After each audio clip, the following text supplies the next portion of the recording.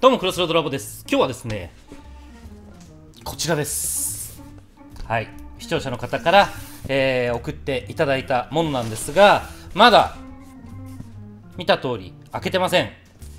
ちょっと前に届いたんですよ。今動画の編集ずっとやってたらね、えー急に届いたので、えーこのまま動画を撮影してしまおうということでここで開封します。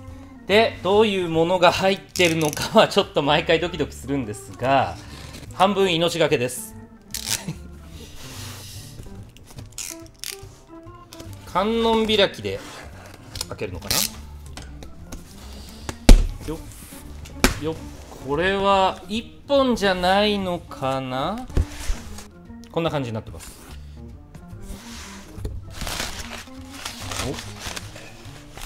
お2本入ってます。ね。2本で手紙とかないかな？ありました。手紙がねありました。多分手紙だと思います。はい。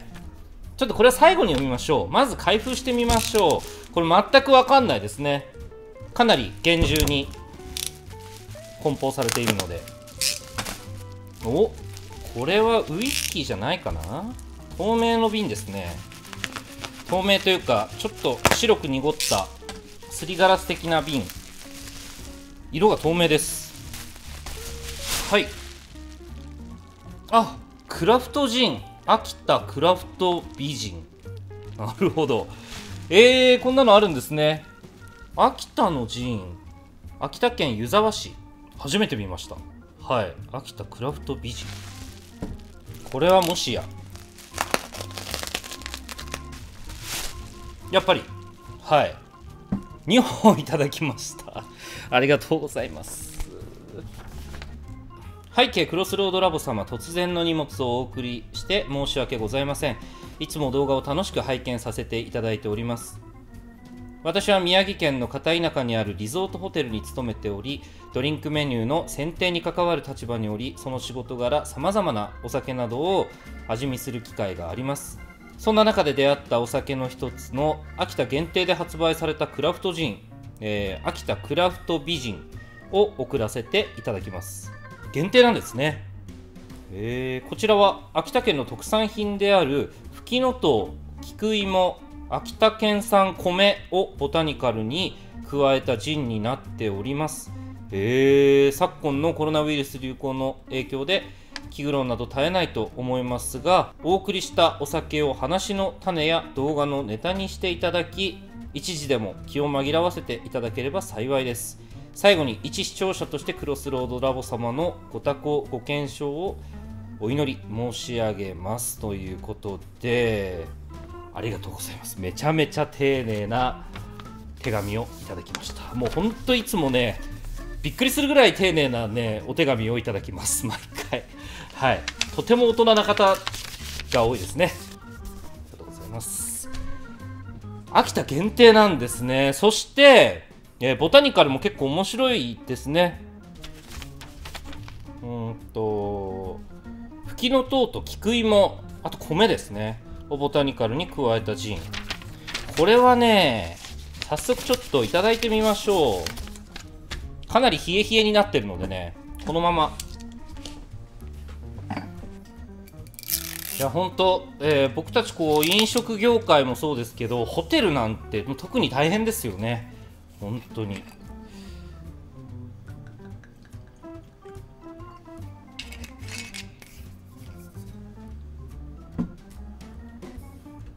お。やっぱ爽やかなんですけど独特の香りしますね。やっぱり。いい香りしますとても。いただきます。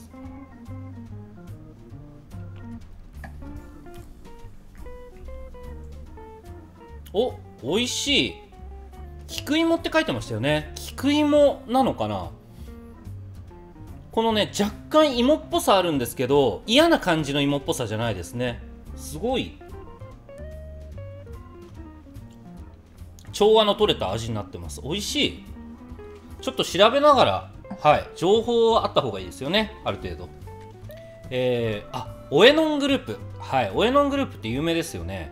オエノングループの秋田県発酵工業株式会社、えー、は秋田県ならではの3種類のボタニカルを含む8種類のボタニカルを使用した秋田県初のクラフトジン。秋田クラフト美人を1月30日に数量限定1000本で全国発売します、えー、この1月30日っていうのは去年の1月です。はい2019年ですね、えー、秋田県初のクラフトジンは、えー、伝統的なジンのボタニカルの他に、えー、秋田県産のフキノトウや菊芋秋田県産米をボタニカルに使用しています、はい、冷凍庫でよく冷やしストレートやロックで飲むとその味わいを堪能していただけます。また強炭酸で、えー、割ったジンハイボールは食中酒など喉越しの良いドライな味わいをお楽しみいただけます。商品名はクラフトジンと秋田美人を掛け合わせた秋田クラフト美人とネーミングしパッケージには秋田県産ボタニカルのフキノトウ菊芋の花そして秋田県産米の稲穂の絵柄をあしらい繊細な秋田美人を連想させるデザインにしました。なるほど。美しいですね。とても。これですね。このデザイン、この度同社が長年築き上げてきた上流技術を生かした秋田県初のクラフトジン秋田クラフト美人を発売することで当社の新たな魅力をご提供いたしますということですね。あとボタニカルはですねコリアンダーシード、えー、リコリスルートアンジェリカルーとオレンジピール。結構まあこの辺は定番というかね、えー、ジンによく使われるボタニカルですが、えー、珍しいのはやっぱりフキノトウと菊芋それとは秋田県産の米ですね。500ml ですちなみにね。一応これ発売地域全国ってなってますけどどうなんでしょうかね。えー、一応楽天とかアマゾンでは購入できますね。いくらかな？4717円。なかなかいい値段しますね。やっぱねクラフトジンってどれもやっぱいい値段しますよね、えー、この辺にあるね木の実だったりとかわびジンとかね、はい、有名ですけど。あと6とかね。サントリーですね。結構いろいろ飲みましたけどやっぱりねこのジンの美味しさをね十二分にこう発揮というかえー、味わうためにはストレートだったりロックももちろんいいんですがちょっとそれだとね人によっては飲みづらいなって感じる人結構多いじゃないですか。なのでですね、えー、炭酸で割るとなおいいかなと思います。あと水割りですね。炭酸と水割りちょっと試してみたいと思います。はい早速ですねこの2つグラスを用意して炭酸と水割りを作っていきたいんですがえっ、ー、とですね意外とこのジントニックとかもいいんですけど味のあるもので割っちゃうとですね、えー、このジンのボタニカルのうちのね一番強い味が出てきて繊細なねその他のボタニカルの味が結構消えちゃうのでね炭酸とか水とかあんまり味のないもので割った方がこのクラフトジンを味わうにはいいんじゃないかなと個人的には思います。むしろえー、こういうクラフトジンでジントニックとか使っちゃうとジェニパーベリーのねあのジン特有のジェニパーベリーの味がね、えー、前面に出てきちゃうので奥に隠れてるフレーバーとかがねあんまり感じにくいかなとは思います。だからもったいないってことですね要は。まず水割り。そして炭酸で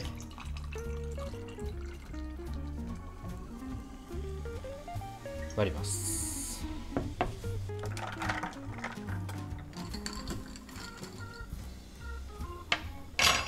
はい、それではですね、まず水割りの方からいただきます。いただきます。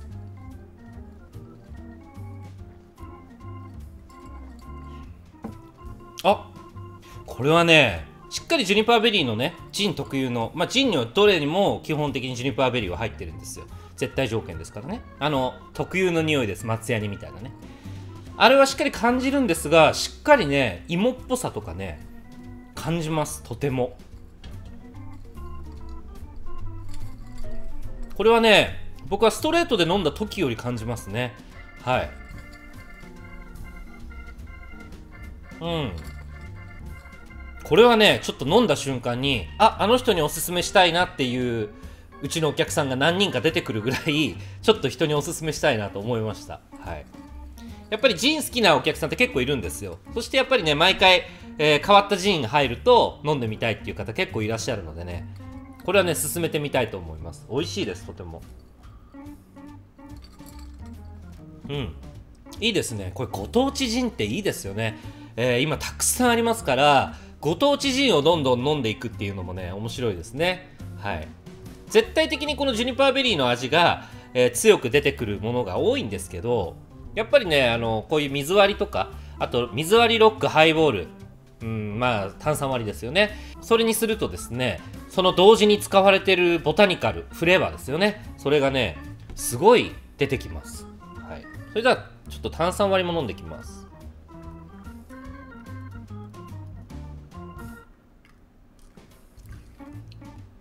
うん。美味しいです。とても。まあもちろんアレンジとしてカクテルでね。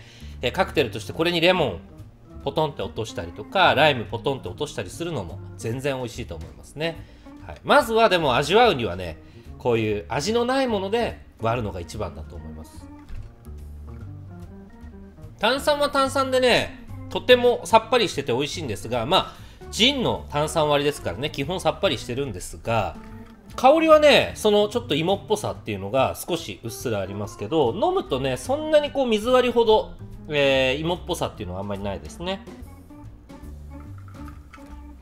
うん、だけどこのジュニパーベリーの感じがねちょっと抑えられてるので食中酒としてはとてもこの炭酸割りがいいかなと思います。むしろねちょっとグビグビいっちゃいそうで怖いぐらい美味しいですとても。うん。